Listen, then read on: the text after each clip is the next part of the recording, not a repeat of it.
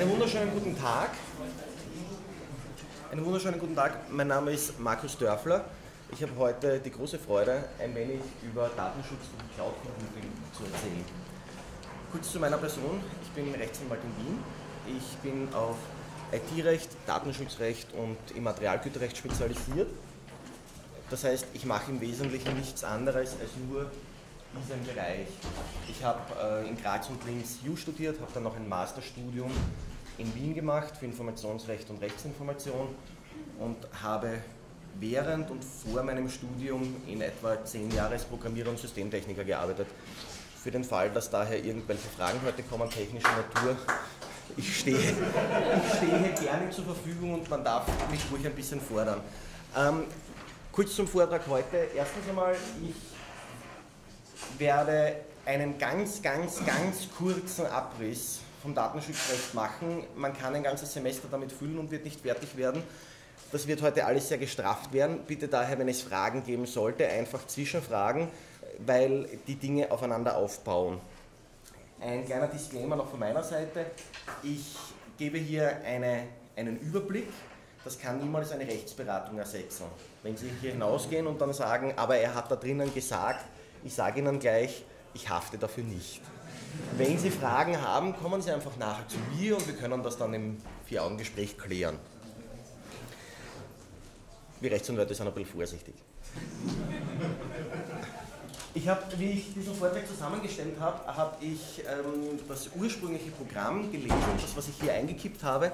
Ich habe es etwas geändert. Also das, was im Programm drinnen steht, stimmt zwar vom Inhalt her, ich habe aber den Aufbau geändert, nämlich dahingehend, weil die Zeit zu kurz ist, dass ich Ihnen einen Grundriss vom Datenschutzrecht gebe und gleichzeitig die Probleme des Cloud Computing darlege. Hängt einfach damit zusammen, wenn ich Ihnen vorher was erzähle und dann hinten nach das Cloud Computing herausstreiche, äh, ist es unter Umständen ein bisschen unübersichtlich. Gut, fangen wir mal an. Wir reden heute nach einer kurzen Einleitung, Einleitung davon, welche Daten überhaupt geschützt sind, so einen ganz einen groben Grundriss vom Datenschutzrecht und dazu die, äh, die Rechtsprobleme des Cloud Computing. Einleitung, so, das ist ein Formatierungsfehler. Äh, Einleitung, wir reden, ich rede nur vom österreichischen Recht. Ähm, Basis davon ist das Datenschutzgesetz aus dem Jahr 2000. Das basiert im Wesentlichen auf einer Richtlinie der EU. Das heißt, was ich hier jetzt zum österreichischen Recht sage, wird unter Umständen oder in, über weite Teilen auch im restlichen Europa gelten. Das heißt, wenn Sie aus Deutschland kommen oder deutsche Rechtsfragen haben, es wird vermutlich, ich betone vermutlich, ähnlich zu lösen sein. Gut. Ich gestehe, es tut mir furchtbar leid, ich habe es mit PowerPoint erstellt und irgendwie hat das Open Office Format, deswegen die zusätzlichen Punkte, man möge es mir bitte nachsehen.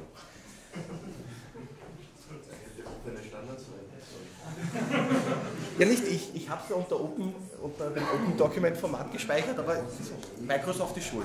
Gut. Erstens einmal, wir, haben, wir reden von einem Grundrecht. Das ist ganz so etwas Besonderes. Wir haben ähm, ein Grundrecht auf Freiheit, ich darf nicht einfach eingesperrt werden, und es gibt auch ein Grundrecht auf Datenschutz. Das bedeutet, ich als Person habe die Hoheit über meine Daten. Ich kann festlegen, was mit meinen Daten passiert. Dieses Grundrecht ist einmal die Basis und dann gibt es dort so gewisse Ausgestaltungen, wie man dieses Grundrecht verstehen kann und was man mit diesem Grundrecht alles machen kann. Aus diesem Grund, weil wenn ich sage, okay, ich habe ein Grundrecht auf ein Grundrecht auf, auf meine Daten und was mit meinen Daten passiert, das ist zwar großartig, aber ich muss das ja irgendwie als Einzelner auch durchsetzen können. Deswegen gibt es auch ein Grundrecht auf Auskunft, Richtigstellung und Löschung. Das ist eine da fängt es bereits an mit dem Cloud Computing. Das große Problem, was ich habe als Betroffener, das Datenschutzgesetz spricht immer von einem Betroffenen, das ist das Individuum, dessen Daten verarbeitet werden.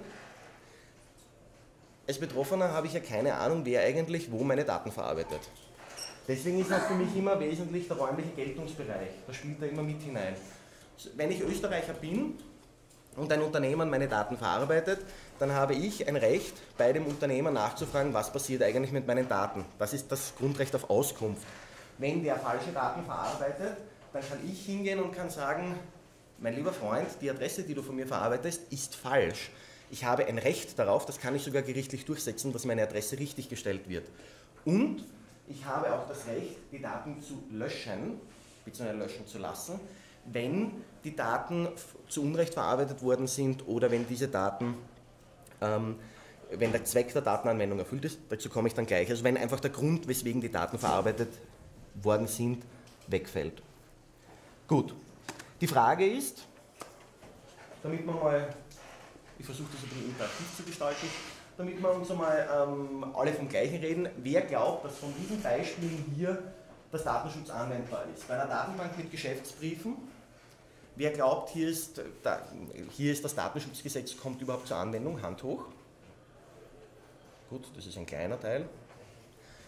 Eine Datei mit Namen. Ich habe einfach nur eine Textdatei und dort stehen untereinander einfach Namen drinnen. Wer glaubt, dass hier das Datenschutzgesetz zur Anwendung kommt? Das sind ungefähr die gleichen Leute. Gut.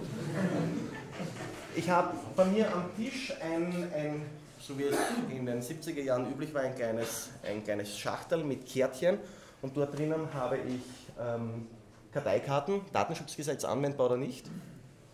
Anwendbar, gut, das ist ein größerer Teil. Eine Datenbank mit Landschaftsbildern, Datenschutzgesetz anwendbar. Das ist wieder der gleiche Teil wie vorhin, okay. Ein Blog, Datenschutzgesetz anwendbar. Ein ähnlicher Teil, aber weniger, okay. Ähm, der Inhalt einer Website, anwendbar. Kommt drauf an, was drauf steht, ist mal gut. Datenbank mit Kreditkartennummern, anwendbar. Gut. Die Sache ist, die Sache ist relativ einfach. Ähm, das Datenschutzgesetz, ich löse das dann gleich auf, das Datenschutzgesetz hat einen Geltungsbereich. Dieser Geltungsbereich bezieht sich auf direkt und indirekt personenbezogene Daten. Personenbezogene Daten bedeutet, wann immer ein Individuum, eine Person, eine juristische oder natürliche Person, also Sie, ich oder auch eine GmbH, dort konkret identifizierbar ist. Wenn sie konkret direkt identifizierbar ist, sprich Name, Adresse, Geburtsdatum, habe ich direkt personenbezogene Daten. Indirekt personenbezogene Daten habe ich dann, wenn ich mit rechtlichen Mitteln, ich zwar nicht feststellen kann, wer das ist, aber ein anderer es feststellen kann. Klassisches Beispiel hierfür ist die IP-Adresse. Ja, IP-Adresse ist indirekt personenbezogenes Datum. Ist nicht ganz unwesentlich. Das Gesetz unterscheidet noch zwischen nicht sensiblen und sensiblen Daten. Das brauchen wir jetzt nicht. Sensible Daten sind Krankheit, Religio, äh, Reli religiöse Einstellung, sexuelle Orientierung so in die Richtung. Nicht sensible Daten sind im Wesentlichen alle anderen Daten, aber das soll uns jetzt hier nicht weiter stressen. Gut. Das Beispiel von vorhin, Datenbank mit Geschäftsbriefen. Ein kurzer Moment. Na, ich löse es dann anschließend auf, das ist, glaube ich, spannender. Ähm, wie ich bereits gesagt habe, es gibt im Datenschutzgesetz drei verschiedene handelnde Personen. Es gibt einmal den Betroffenen, das ist der einfachste, das ist der, dessen Daten verarbeitet werden. Dann gibt es noch den Auftraggeber. Der Auftraggeber ist derjenige, der datenschutzrechtliche Auftraggeber ist derjenige, der für sich alleine oder gemeinsam mit einem anderen beschließt, personenbezogene Daten zu verarbeiten. Gut, hört sich jetzt ganz technisch kompliziert an, ist in Wirklichkeit ganz einfach. Wann immer ich hergehe, ich für mich beschließe, ich möchte gerne Daten von einem anderen, nicht von mir selbst, sondern von einem anderen speichern, vergleichen, erfassen, modifizieren, verarbeiten in irgendeiner Art und Weise oder auch nur an einen Dritten zu übersenden, habe ich, bin ich Auftraggeber im Sinne des Datenschutzgesetzes. Diese Frage ist nicht immer ganz leicht zu beantworten, nämlich in der Abgrenzung zum sogenannten Dienstleister. Der Dienstleister ist derjenige, der für einen Auftraggeber Daten verarbeitet. Stellen Sie sich Folgendes vor. Sie sind ein Unternehmen, machen wir was Griffiges, ein Kreditauskunftsunternehmer. Die sind wohl datenschutzrechtlicher Auftraggeber. Der hat bei sich im, Keller einen Server stehen. In dem Server werden einfach von uns allen Daten gespeichert. Wann immer ich irgendetwas nicht zahlen kann, wann immer ich irgendwo einen Kredit aufnehme, wann immer ich eine Mahnung erhalte von einem Inkasso-Institut, werden die Daten dort eingelagert und gespeichert. Gut. Er ist datenschutzrechtlicher Auftraggeber. Er verarbeitet die Daten selbst, sein Server steht im, im, im, Keller, er hat dort eine riesen Datenbank, er verarbeitet diese Daten, das ist sein eigenes, er ist alleine Auftraggeber, alles kein Thema. Heutzutage ist es aber so, dass, und deswegen sind wir jetzt auch beim Thema Cloud Computing hier, heute ist aber so, dass viele Unternehmen sagen, ich leiste mir selbst nicht die Infrastruktur oder Das ist dann der klassische Rechenzentrumsbetrieb. Oder ich habe das Bedürfnis, dass ich die Daten einem großen Kreis von Personen zur Verfügung stelle. Ich möchte sie verteilen, ich möchte sie in der Cloud speichern. Ich sage mal, der Jurist in mir, was immer das zu bedeuten mag. Ja? Dann haben wir hier schon einen Dienstleister. Ich definiere jetzt einmal für mich und für diesen Vortrag, Cloud Computing ist im Endeffekt nichts anderes als eine besondere Form des Rechenzentrumsbetriebs, eines Rechenzentrumsbetriebs. Das heißt, ich bin ein Unternehmer, ich habe ein Rechenzentrum oder ich habe mehrere Rechenzentren, wo ich Daten drinnen speichere. Der Dienstleister ist dann derjenige, der die Daten für einen anderen speichert, verarbeitet, übermittelt oder ähnliches. Das bedeutet, ich als Kreditauskunftsunternehmen sage, ich möchte mir nicht selbst einen, ähm, ich möchte mir nicht selbst einen, einen äh, Server in den Keller stellen, sondern ich gehe einfach zu einem Dritten hin. Der soll das für mich machen. Das Besondere ist jetzt, dass dieser Dienstleister rein nur auf Basis der Anweisungen des Auftraggebers tätig werden kann. Warum ist diese Abgrenzung problematisch? Weil Dienstleister, sagen wir, mal, sagen wir es mal so, gelegentlich auf die Idee kommen, mit den Daten auch noch etwas anderes zu machen. Dann ist er eigentlich kein Dienstleister mehr. Das hat aber haftungstechnisch eine ganz besondere, einen ganz besonderen Grund und eine ganz besondere Auswirkung, weil wenn der Dienstleister, der klassische Dienstleister einen Fehler macht, haftet der Auftraggeber. Wenn der Dienstleister auf einmal zum Auftraggeber wird, haftet der ursprüngliche Auftraggeber auf einmal nicht mehr. Ich erkläre es dann später noch einmal, warum das unter Umständen ein Thema sein kann. Gut. Im Wesentlichen, Im Wesentlichen geht es dann weiter, dass das Datenschutzgesetz auch noch überhaupt definiert, gewisse, gewisse Bereiche. Wovon reden wir überhaupt? Jetzt haben wir direkt personenbezogene Daten, die werden in einer Datei gespeichert. Das hört sich technisch an, ist aber tatsächlich ein juristischer Fachtermini. Der heißt nichts anderes, die, Spei ähm, die Speicherung von Daten in einer Datei bedeutet, dass die Daten, die personenbezogenen Daten, nach irgendeinem Kriterium durchsuchbar sind. Bedeutet, für den vorhin genannten Fall einer Datenbank mit Geschäftsbriefen, wenn ich dort nach einem Kriterium durchsuchen kann, habe ich bereits eine, Date, habe ich bereits eine Datei im Sinne des Datenschutzgesetzes. Heißt, wenn Sie Ihre Word-Dokumente einfach ablegen und diese durch Windows in, durchsuchen können, nach gewissen Kriterien, hätten Sie bereits eine Datei. Das bedeutet für Sie, selbst wenn Sie jetzt nicht die große Datenbank zu Hause betreiben und Sie ein, ein Unternehmer sind, Sie sind ein Einzelunternehmer, Sie sind ein Programmierer oder ähnliches und haben dort im Rahmen Ihres Geschäftsbetriebes, Geschäftsbetriebes ein, ein Ablagesystem für Daten, dann sind Sie bereits datenschutzrechtlicher Auftraggeber, weil Sie verarbeiten nämlich Daten von einem Dritten. Wir hatten vorhin noch den Fall Datei mit Namen. Dort haben Sie ebenfalls das gleiche Problem. Sie haben eine Datei, wo einfach nur Namen untereinander geschrieben sind. Nachdem Sie die Suchfunktion heutzutage überall anwenden können, wird auch das nicht nur eine Datei im Sinne eines der Technik sein, sondern auch im Sinne des Datenschutzgesetzes. Karteikarten mit Adressen. Ähm, es gibt einen Sonderdatbestand, das war eine Fangfrage, die auch die umfassen würde. Das heißt, die sind ebenfalls eine, eine ähm, dort kommt ebenfalls das Datenschutzgesetz zur Anwendung. Datenbank mit Landschaftsbildern. Wer glaubt, dass das noch immer etwas ist? Noch immer ähm, dem Datenschutzgesetz unterliegt? Niemand mehr, weil da ist nichts mit einer Person. Der Witz an der Geschichte ist, also die anwaltliche Praxis ist regelmäßig, die Leute kommen zu mir und sagen, ja, das verstößt gegen das Datenschutzgesetz. In dem Moment, wo ich personenbezogene Daten verarbeite, kann es gegen das Datenschutzgesetz verstoßen. Es muss immer ein Personenbezug herstellbar sein, direkt oder indirekt, eines von den beiden. Wenn ich eine Datei, äh, wenn ich ein Logfile von einem Server anlege und dort IP-Adressen drinnen speichere, dann kommt darauf eigentlich das Datenschutzgesetz zur Anwendung.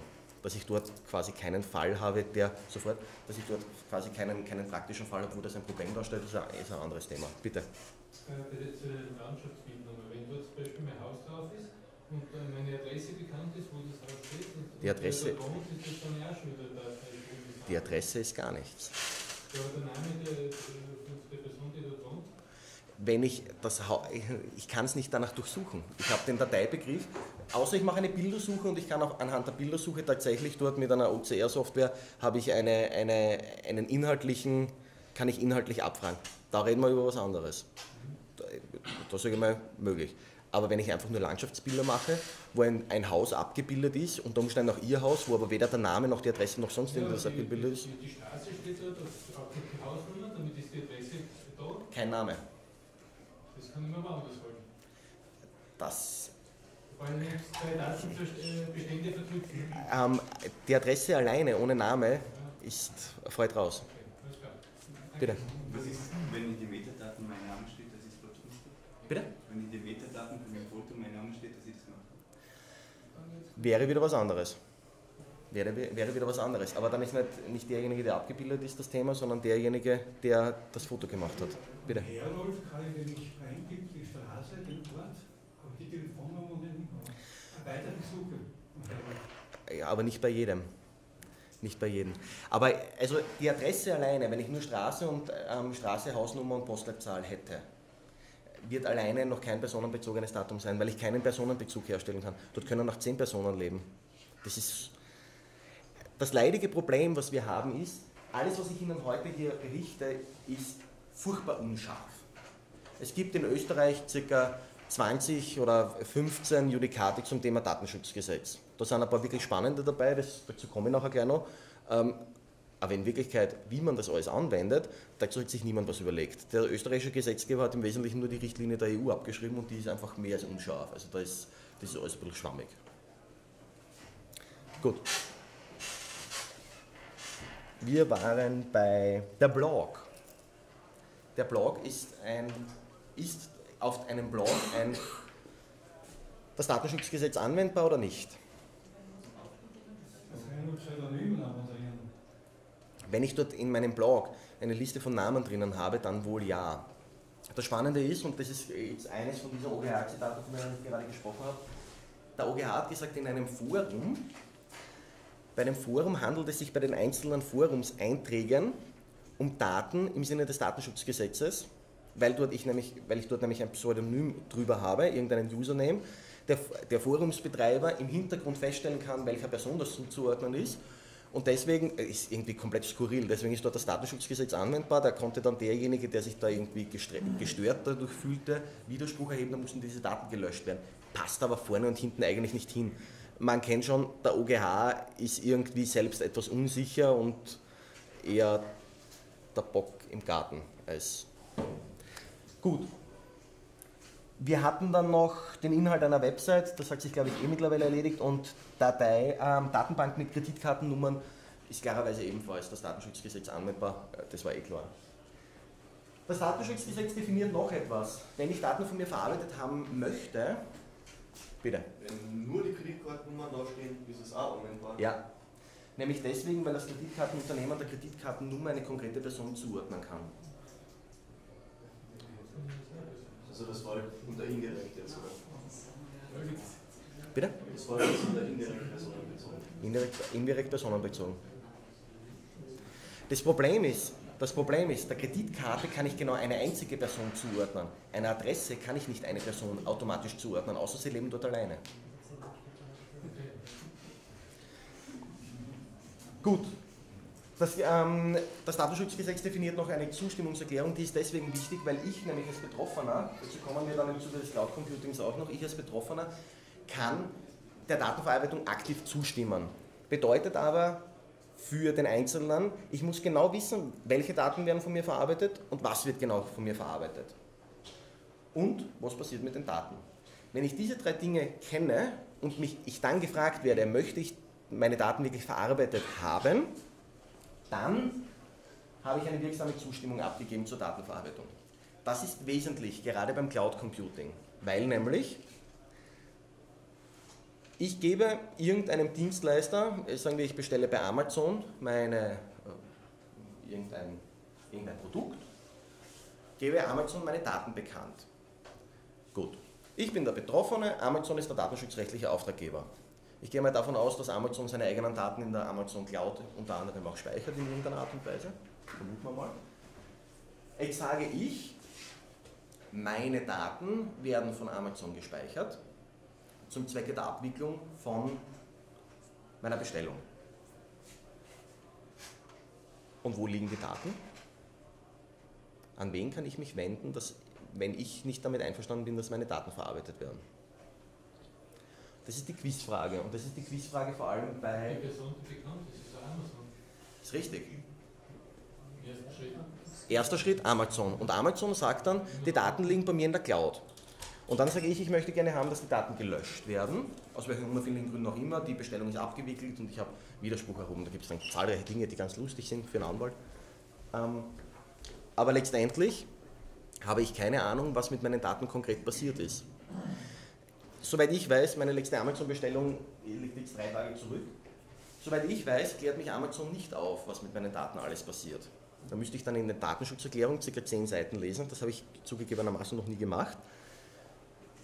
Ich gehe mal davon aus, dass dort drinnen steht, was die alles damit machen. Da wird dann drinnen stehen, wir machen Marketingzwecke etc. So wie das alle großen, alle großen ähm, Online-Händler machen. Das Problem ist nur, ich habe keine Ahnung, wo meine Daten liegen. Ich hätte als Betroffener beispielsweise auch das Recht, dass ich sage, ich möchte gerne wissen, ob die alle Datensicherheitsmaßnahmen einhalten. Weiß ich nicht. Das ist das Thema beim Cloud Computing. Ich speichere Daten in irgendeiner Art und Weise in einem, in einem Rechnerverbund. Ich habe keine Ahnung, wo die Daten liegen. Ich habe keine Ahnung, was mit den Daten passiert. Deswegen kann ich nur raten, wann immer Sie mit Cloud Computing zu tun haben und wann immer Sie eine derartige Lösung implementieren müssen, denken Sie immer daran, diese Daten oder der Betroffene muss darüber informiert werden, dass die Daten in einer Cloud gespeichert werden, an wen die Daten übermittelt werden, wo die Daten gespeichert werden, was mit den Daten passiert, wie lange sie gespeichert werden, wann sie zu löschen sind. Gut. Letzter Punkt, es gibt noch eine, eine Definition, das ist bei Cloud Computing unter Umständen relevant, sogenannte Informationsverbundsysteme. Informationsverbundsysteme bedeuten, dass mehrere Informationsverbundsysteme bedeutet, bedeutet, dass mehrere Unternehmen, die für sich selbst Daten verarbeiten, Daten in einen Datenpool einkippen. Da gibt es eine konkrete Anwendung in Österreich, das ist die, ähm, Kleinkredit, äh, die, die Kleinkreditevidenz der österreichischen Banken. Wann immer Sie bei einer Bank einen Kredit nehmen, wird, nehmen die alle diese Daten und sagen, der Herr Meier hat einen Kredit über 1000 Euro genommen und die kippen das dann in dieses System ein. Und da können dann alle anderen Banken darauf zugreifen und schauen, ob der Herr Meier mit dem und dem Geburtsdatum und der, der Adresse etc. schon einmal einen Kredit genommen hat. Das kann beim Cloud Computing unter Umständen ein Thema sein, weil die Frage ist nämlich immer, ob beim Cloud Computing die Daten tatsächlich getrennt voneinander gespeichert werden. Es gibt theoretisch die Möglichkeit, dass ich jetzt nicht sage, ich habe meinen eigenen Container, mein abgeschlossenes System, wo ich die Daten drinnen speichere, sondern theoretisch hat ein Dritter noch Zugriff auf diese, auf diese Daten. Warum das ein Thema ist, dazu komme ich ein wenig später. Bitte. Die Autohaftpflichtversicherungen auch denen untereinander alles melden, Ähm. Ja, wobei da, da gibt es, glaube ich, eine gesetzliche Ermächtigung. Da bin ich mir aber jetzt nicht ganz sicher, das müsste ich nachschauen. Aber da hat der Gesetzgeber gesagt, ähm, das hat aber einen, einen anderen Grund, das erkläre ich dann wollen nachher. Das ist ein, ein Spezialproblem. Gut. Die Frage ist jetzt, wenn ich Daten, wenn ich Daten ähm, speichere. Man muss im Wesentlichen zwei, zwei, Dinge, ähm, zwei Dinge unterscheiden. Das Datenschutzgesetz spricht von Verarbeiten und Übermitteln. Bedeutet, wenn ich Daten verarbeite, heißt speichern, vergleichen, äh, speichern, vergleichen, ähm, sortieren, in irgendeiner Art und Weise bearbeiten. Davon ausgenommen ist allerdings das Übersenden der Daten an einen Dritten. Das nennt man Übermitteln. Das Besondere hierbei ist, dass wenn, wieder Thema Cloud Computing, wenn der Auftraggeber die Daten an seinen Dienstleister schickt, damit der die Daten verarbeitet, habe ich keine Übermittlung. Wenn der Auftraggeber jedoch hergeht und sagt, ich schicke die Daten nicht an den Betroffenen, sondern an irgendeinen Dritten, beispielsweise an ein Marketingunternehmen, dann werden die Daten übermittelt. Das ist deswegen wichtig, weil ich der Datenübermittlung als Betroffener zustimmen muss, und zwar im Vorhinein. Sie hatten eine Frage. Okay? Ähm, das Besondere an dieser Geschichte mit dem Übermitteln ist aber auch, dass wenn die Daten für einen anderen Zweck verarbeitet werden, als sie ursprünglich erhoben wurden, habe ich ebenfalls bereits eine Übermittlung. Heißt für Sie konkret, ich gehe her und bestelle bei Amazon, äh, bestelle bei Amazon irgendein Gerät.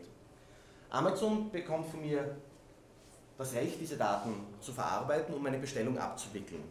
Das brauche ich nicht explizit zustimmen, sondern das steht im Gesetz drinnen, wenn ich um eine, äh, zur Abwicklung eines Auftrages äh, Daten erhalte, dann darf ich für die Abwicklung des Auftrages diese Daten auch verarbeiten. Jetzt geht aber Amazon her und sagt, naja, der hat bei mir gekauft eine Motorsäge.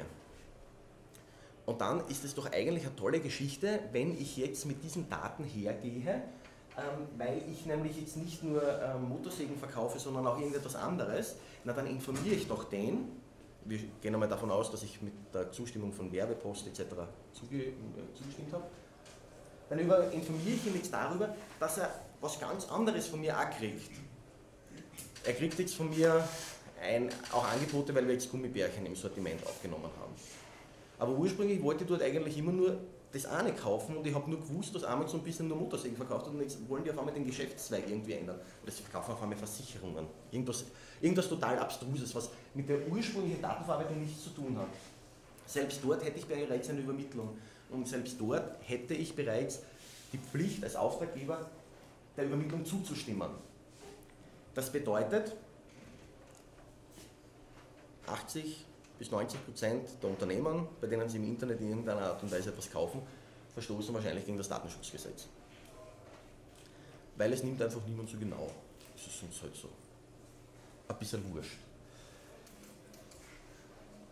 Heißt, für Sie in weiterer Folge, wenn Sie in irgendeiner Art und Weise Ihre Daten woher geben, lesen Sie sich genau durch, was mit diesen Daten passiert. Da muss klipp und klar drinnen stehen, was mit den Daten gemacht wird. Wenn dort drinnen steht, die Daten dürfen auch für Werbezwecke verwendet werden, dann muss dort, wenn man es genau nimmt, auch drinnen stehen, an welches Werbeunternehmen das weitergeleitet wird. Macht heutzutage niemand, sage ich Ihnen auch gleich.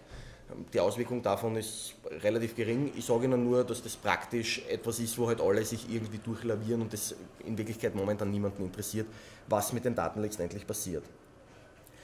Jetzt gehen wir mal davon aus, der Unternehmer hat brav eine Zustimmungserklärung eingeholt und er hat alles brav gemacht und er hat die Datenanwendung gemeldet etc. Dann kann er trotzdem nicht die Daten einfach so frisch fröhlich verarbeiten, sondern gibt es dann diesen Katalog, Verwendung nach Treue und Glauben, das ist so die esoterische Wolke, die über allen drüber schwebt. Ähm, festgelegte Zwecke, das ist das, von dem ich gerade gesagt habe, wenn ich Daten für einen gewissen Zweck verarbeite, darf ich sie nicht für einen anderen Zweck verwenden. Zweck der Datenanwendung, ich darf nur ähm, den Zweck der Datenanwendung erfüllen und darf dann nicht konkret darüber hinausgehen. Die Daten müssen immer richtig gehalten werden von mir, und zwar vom Auftraggeber, der muss aktiv auch da hergehen und schauen, dass die Daten immer richtig sind, soweit es ihm zumutbar ist. Und die Aufbewahrungssteuer darf die Daten nur so lange behalten und so lange speichern, als das tatsächlich notwendig ist für die Erfüllung der Zwecke, beziehungsweise um den Zweck der Datenanwendung zu erfüllen. Bedeutet, insbesondere der letzte Punkt, die Aufbewahrungsdauer, damit nimmt es auch niemand so genau. Bedeutet nämlich, gerade beim Cloud Computing, Sie wissen nicht, wo die Daten sind. Oftmals wissen es die, die, Auftraggeber selbst nicht. Er speichert die Daten in die Cloud hinein und er hat in Wirklichkeit keine Ahnung, wo diese Daten liegen, ob dort noch irgendwelche Kopien herumkrebsen, die irgendwie länger noch gespeichert werden, aus welchen unerfindlichen Gründen auch immer. Weswegen die Aufbewahrungsdauer durchaus ein Thema ist, womit sich Unternehmen, sagen wir mal, auseinandersetzen sollten. Gut, das nächste mache ich jetzt ganz kurz nur. Da muss man dann, da gibt es ein gewisse Prüfschemata, ob der das dann wirklich verarbeiten darf, Zulässigkeit der Datenverarbeitung, schutzwürdige Geheimhaltungsinteressen müssen dann dürfen nicht verletzt werden und da gibt es noch gewisse Pflichten des Dienstleisters. Das ist jetzt wiederum der spannende Punkt. Wenn ich, mir, wenn ich als Auftraggeber hergehe und mir einen Dienstleister und meinen Dienstleister heranziehe, bin ich verpflichtet, und das ist, das ist etwas, das gibt es ganz, ganz selten, das wird ganz selten gemacht, bin ich verpflichtet, als Auftraggeber mit dem Dienstleister einen schriftlichen Vertrag zu schließen. Das ist einer der wenigen Fälle in Österreich, es gibt nur eine Handvoll, aber das ist einer der wenigen Fälle, wo ich, wo ich verpflichtet bin, einen schriftlichen Vertrag abzuschließen. Bedeutet, Ich gehe her als Unternehmer und sage, ich möchte gerne meine Daten in einer Cloud speichern, Microsoft von mir aus, dann gehe ich dort her, dann muss ich mit denen einen schriftlichen Vertrag schließen. In diesem schriftlichen Vertrag muss drinnen stehen, dass ich als Auftraggeber immer nachschauen darf, ob die Datensicherheitsmaßnahmen eingehalten werden. Soweit ich weiß, schließen das die meisten aus. Was unzulässig ist. Ich habe die Pflicht, dass ich die Daten nach der Verarbeitung lösche als Dienstleister. Oder zumindest mit dem Auftraggeber vereinbare, was mit den Daten zu passieren hat. Sie ihm zurückgebe, lösche, vernichte oder was auch immer. Weiters muss, muss schriftlich festgehalten werden, dass ich, wenn ein Löschungs- oder Richtigstellungsbegehren an den Dienstleister herangetragen wird, was dann in diesem Fall passiert. Ich kann als Betroffener hergehen und kann sagen, ich weiß, liebe Microsoft-Leute, ihr speichert von mir Daten. Nämlich für das Unternehmen XY. Ich möchte gerne von euch eine Auskunft haben, welche Daten ihr von mir speichert.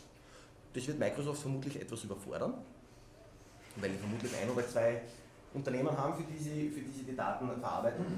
Die können das schlicht nicht wissen, weil sie vielleicht keinen Zugriff haben oder weil sie schon Zugriff haben.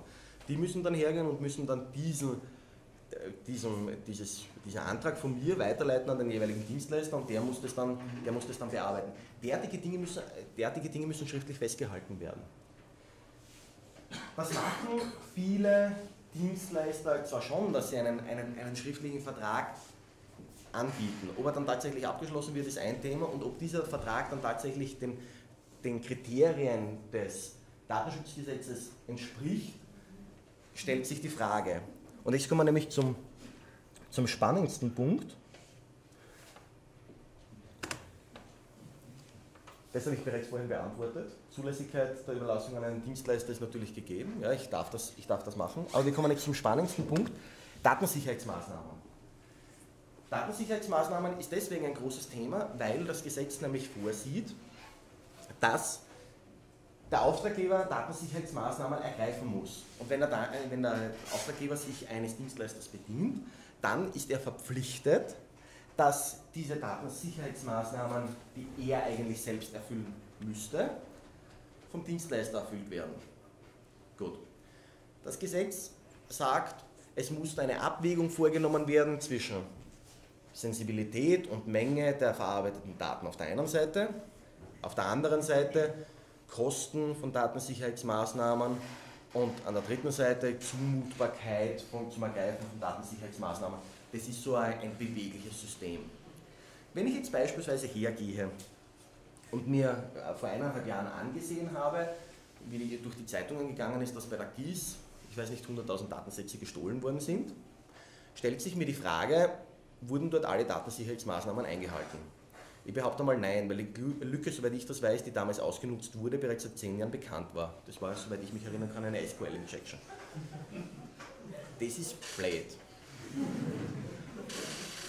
Das, das, das wirklich Lustige an der Geschichte ist, Datensicherheitsmaßnahmen, wenn ich, wenn ich die nicht ordnungsgemäß ergreife, könnte ich eine Verwaltungsstrafe bekommen von der zuständigen Bezirksverwaltungsbehörde.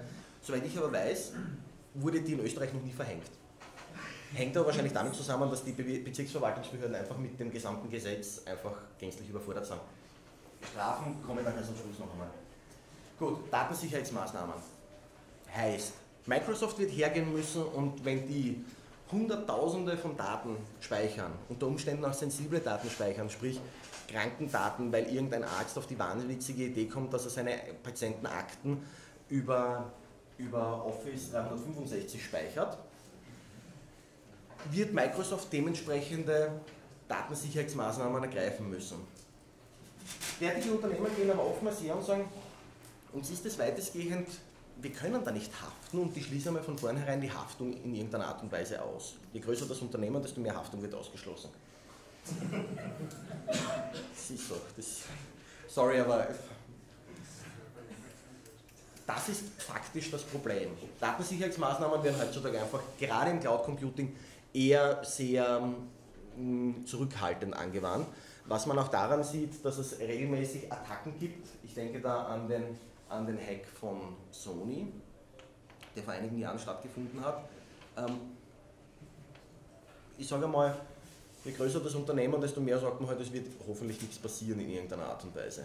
Es hat jetzt unlängst einen Fall gegeben, da wurde angeblich ein, ein Partner von ähm, einem großen Elektronikkonzern, von einem großen ähm, japanischen Elektronikkonzern gehackt, weswegen die dann hergegangen sind und dann gesagt haben, sie wollen die Daten von allen ihren Partnern haben, damit sie wissen, wenn dort wieder ein Hack passiert, ob dort Datensicherheitsmaßnahmen ergriffen worden sind oder nicht, das hat sie im anderen Zug aber nicht interessiert, was dann auch wieder sehr spannend ist, wo das eigentliche, wo die eigentliche Priorität liegt. Ein Punkt noch, Datengeheimnis. Wir haben die Pflicht, dass alle Mitarbeiter, die mit den Daten zu tun haben, die müssen zum Datengeheimnis ähm, verpflichtet werden, steht üblicherweise in einem Dienstvertrag drinnen. Das ist etwas, das hat sich mittlerweile eingebürgert und das ist heutzutage weniger das Thema. Gut. Wie ist das bei Datendieb ah, bei Ladendiebstählen? Wird ja auch irgendwie Wie? gespeichert und muss ewig irgendwie Wenn er verurteilt wird. sonst nicht. Es gibt keine Evidenzdatenbank für, für derartige Fälle. Da würden auch, aus meiner Erfahrung heraus, ähm, da würden auch die äh, äh, Rechnerkapazitäten sehr rasch an ihre Limit stoßen. Gut. Probleme beim im Cloud Computing. Speicherort. Speicherort ist wichtig. Speicherort ist ganz, ganz wichtig, aus folgendem Grund. Das Datenschutzgesetz, jetzt habe ich Ihnen ganz viel erzählt zum Thema, wo die Daten gespeichert werden und was mit diesen Daten gemacht werden darf und wie die damit umgehen müssen etc. Aber ich als Betroffener möchte ja noch immer eine Hoheit über meine Daten haben.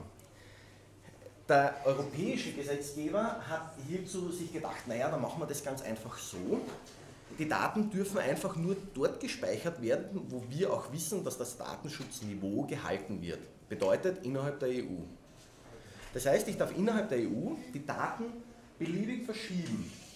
Ich kann ein Rechenzentrum in Frankreich haben, kann meine Daten dort speichern und das ist alles kein Thema. Das nennt man genehmigungsfreie Übermittlung ins EU-Ausland. Gut. Ist toll. Dann haben wir große Cloud-Anbieter. Die haben dann das Rechenzentrum in Europa, in Asien, in den Staaten, Südamerika oder wo auch, im, wo auch immer, Indien. Und ich sage mal, das Datenschutzniveau, machen wir was Einfaches, das Datenschutzniveau in den Vereinigten Staaten ist heute mal nicht so prickelnd. Hängt, äh, bedeutet jetzt für mich, ich als Betroffener kann, wenn die Daten in den Vereinigten Staaten gespeichert werden, dort eigentlich nicht durchsetzen, weil wie will ich das machen? Ich kann das österreichische Unternehmen, das die Daten, das die Daten in das System eingepflegt hat, die kann ich klagen auf Unterlassung und was was es und gehe her und sage, Leute, ich möchte gerne haben, dass diese Daten, dass diese Daten gelöscht werden. Letztendlich aber, wenn die sagen, na, die tun das nicht, da kriegen sie vielleicht einen Titel an, ich kann das nicht exekutieren, ich kann das nicht durchsetzen, ich habe einfach keine Möglichkeit, dass ich das in irgendeiner Art und Weise durchsetze. Jetzt ist die EU hergegangen und hat gesagt, ähm, wenn Daten ins Ausland übermittelt werden, nämlich ins, ins Ausland außerhalb der EU, dann nur unter der Voraussetzung, dass das, dass das Datenschutzniveau dort genauso hoch ist wie innerhalb der EU. Es gibt, glaube ich, zwei Staaten, die das momentan erfüllen. Das ist irgendein südamerikanischer Staat, ich so nicht welcher. Das kann man vergessen. Das kommt praktisch nicht vor. Wenn ich jetzt hergehe und sage, ich schicke jetzt meine Daten in die Microsoft Cloud beispielsweise, müsste ich eigentlich von Microsoft verlangen, dass die mir garantieren, dass meine Daten, die ich dort einspeichere, ausschließlich innerhalb der Europäischen Union gespeichert werden. Wer glaubt, dass das geht?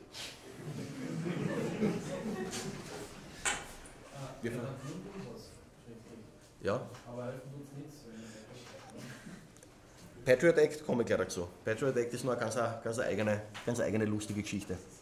Gut. Datensicherheit habe ich, vorhin, habe, ich vorhin schon, habe ich vorhin schon erklärt. Zugriff Dritter. Beim Cloud Computing muss sichergestellt werden, dass ein Dritter keinen Zugriff auf diese Daten bekommt.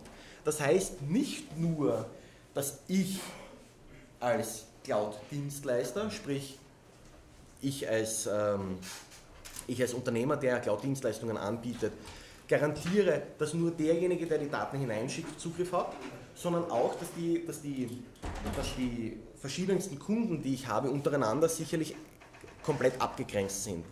Das ist bei Cloud Computing unter Umständen ein Problem, weil es kann eventuell vorkommen, dass halt dann irgendwie ein Bug ist und dann hat man halt auf einmal einen Zugriff auf ein fremdes, auf ein fremdes, ähm, auf einen fremden Speicherort.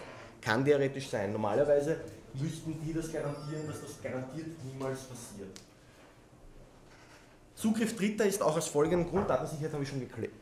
Zwischenfrage stellen. Ich weiß nicht, ob es eine abstruse Idee ist, aber ich meine, der, der, die Bezeichnung Ort, also im Sinne von physikalischem Ort, Ja. passt da ja irgendwie eigentlich nicht auf diese Daten. Das ist auch aber- Wenn, auch wenn, wenn Microsoft sagen würde, alles, was wir da in heißt das, Office 365 haben, ist nur in Europa, Ja. wäre es ja trotzdem von Amerika aus er- erreichbar. Komme ich gleich dazu. Gibt es überhaupt eine Möglichkeit, juristisch oder die Überlegung zu sagen, das bezieht sich eher auf Orte im Sinne von URLs, also Nein. Dateiorten Nein. oder so Nein, etwas? es geht hier klar um, die um den physischen Ort der Speicherung. Ja, aber der ist ja irrelevant im Grunde da. Naja, er muss innerhalb der EU liegen. Ja, aber wenn er in der EU liegt oder ist von außerhalb zugänglich, ist das eigentlich auch egal. Das ist, das ist wieder ein anderes Thema. Das ist die Frage dann Zugriff Dritter. Aber der Speicherort, ich meine, man darf nicht vergessen, dieses, die ursprüngliche Richtlinie stammt aus dem Jahr 97, glaube ich. 95, Entschuldigung. Da war das alles noch kein Thema. Da war das alles noch nicht einmal eine Überlegung von irgendeinem Techniker richtig.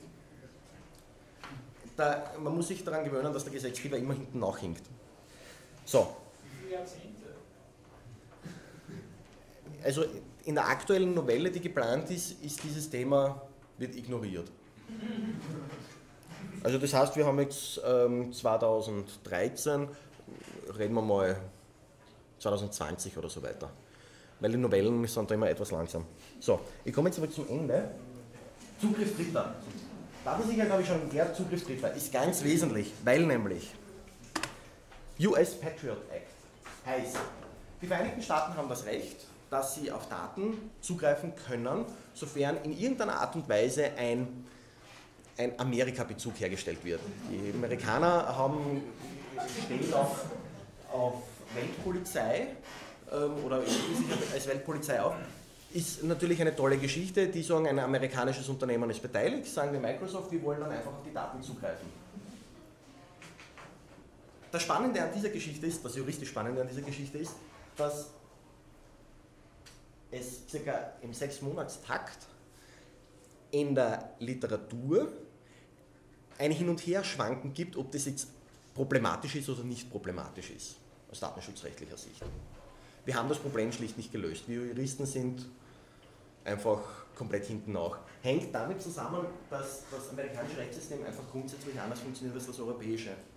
Die, funktio- äh, die haben in irgendeiner Art und Weise versuchen die schon einen, ein datenschutzrechtliches Niveau zu erreichen, was aber mit einem europäischen in keiner Art und Weise vergleichbar ist. Also wenn ich den Koran von Amazon bestelle, kann ich so verdächtig sein in den USA. Theoretisch ja. Theoretisch ja. Praktisch werden sie wahrscheinlich in der Menge gut anonym sein.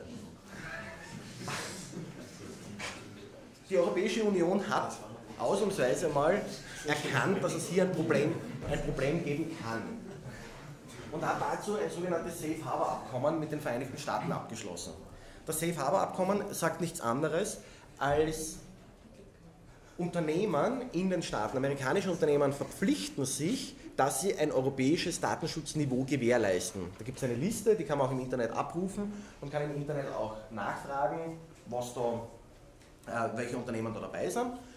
Und wenn ich dann dieses Unternehmen als Europäer anschreibe, dann sollten die auch europäischen Datenschutz gewährleisten können. Ich sage, immer, ich möchte die Löschung haben, dann prüfen die das, so wie das die europäischen Unternehmen tun würden, und löschen dann faktisch.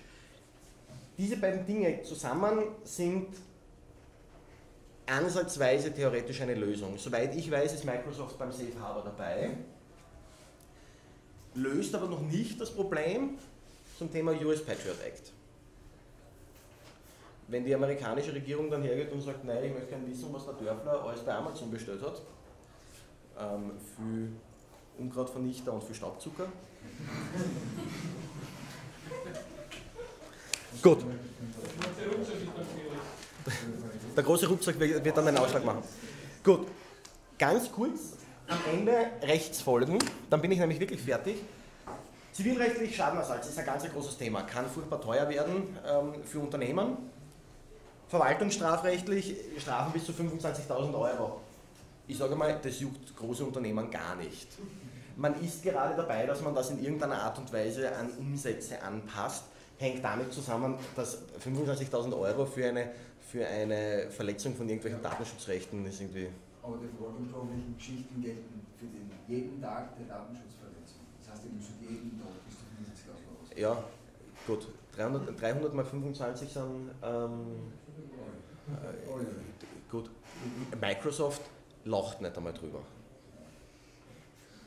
Wie hoch war die letzte Strafe, die sie bekommen haben? Eineinhalb Milliarden oder so? Ich ich sage mal, denen ist das vollkommen wurscht. Wenn da irgendein österreichisches Unternehmen was tut, denen ist das egal.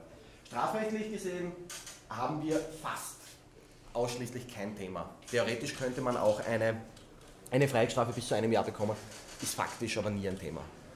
Wirklich teuer wird es nur zivilrechtlich, Schadenersatzansprüche. Das kann, das kann unter Umständen unangenehm werden, wenn ich 100.000 User habe, die dann sagen, ich muss mir auf einmal eine neue Kreditkarte besorgen und ähm, ich muss alle Leute anschreiben und die wollen dann alle einen Schadenersatz haben. Das kann sich dann sehr rasch summieren. Praktisch passiert aber irgendwie auch nie was, weil selbst bei der GIS, beim GIS-Datendiebstahl, was soweit ich das informiert bin, haben sich die wenigsten darüber beschwert, dass auf einmal ihre Kontodaten an Dritte weitergegeben wurden. Aber meine Güte, Kontonummer ist eh kein Thema. Dankeschön.